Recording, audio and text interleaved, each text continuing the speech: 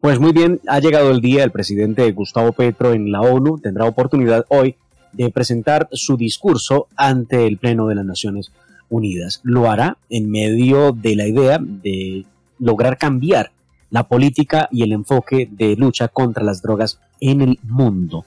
El presidente Petro alista su discurso ante las Naciones Unidas. Eh, ya había se había reunido con el secretario general de la organización eh, para hablar precisamente del tema de lucha contra las drogas.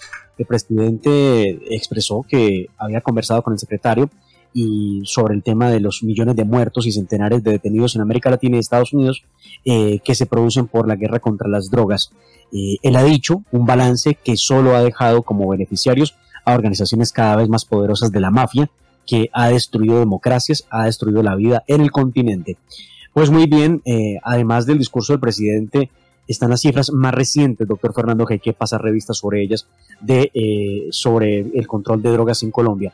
La Oficina de Política Nacional de Control de Drogas, la ONDSP, por sus siglas en inglés, resaltó que el año pasado los cultivos de hoja de coca en Colombia llegaron a 234 mil hectáreas. Eso es una reducción de 11 mil hectáreas frente al año 2020, periodo en el que se contabilizaban 245 mil hectáreas.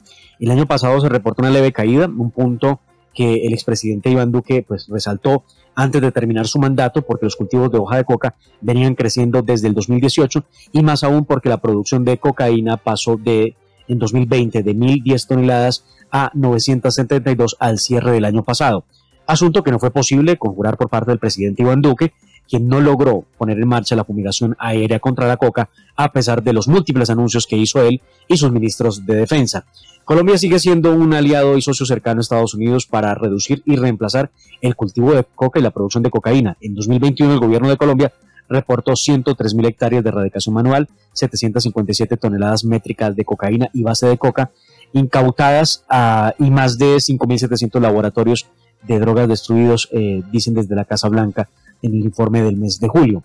De acuerdo eh, con la agenda de gobierno del, presidente eh, Gustavo Petro, pues tuvo reuniones importantes para poder hablar del tema de drogas, que será el centro de su discurso el día de hoy.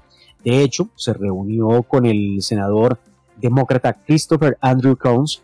El tema también fue el cambio climático, pero también el cambio que debe haber en la lucha contra las drogas. Ha dicho el presidente Petro, Colombia tiene la intención de reducir los cultivos de coca, pero no con el énfasis en lo militar, sino en la generación de condiciones para que los campesinos encuentren alternativas rentables a la coca.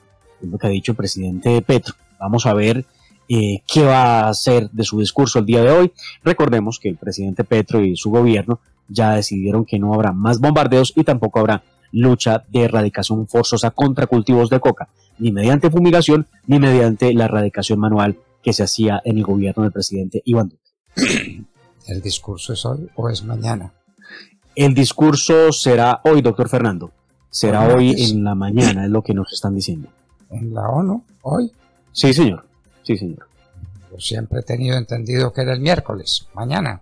Sí, en un principio la prensa colombiana había reportado que sería el día miércoles, pero ya confirmando con Cancillería que presenta el orden de, visitas y de agenda del presidente, aparece el día de hoy.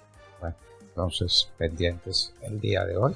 Si lo dicen así, tan contundentemente, es porque nos habíamos equivocado, nos habían hecho equivocar, porque nos habían dicho que era mañana miércoles. Entonces será hoy martes.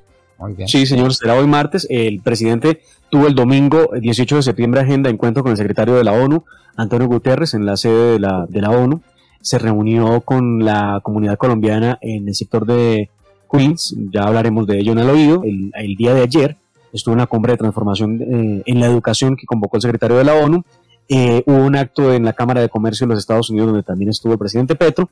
A partir de las 8 y 30 de la mañana, a las 7 y 30 hora de Colombia, el presidente Petro va a estar con el eh, secretario general eh, y saluda a los jefes de la delegación. A las 10 y 40 o 9 y 40 hora de Bogotá, Gustavo Petro intervendrá ante el plenario de la ONU. Después va a haber una reunión con el presidente de la Comisión Europea, Charles Michaels, y también tendrá una entrevista con Sima Bajons, la directora ejecutiva de ONU Mujeres. Es la agenda que presenta la Cancillería el día de hoy. Muy bien,